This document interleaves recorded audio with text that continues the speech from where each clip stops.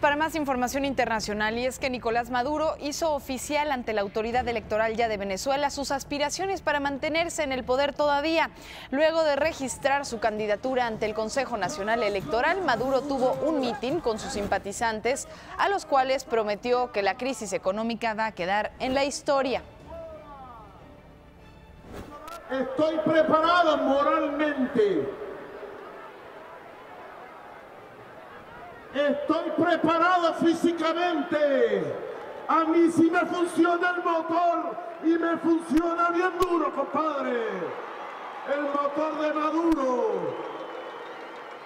Yo sí tengo un motor.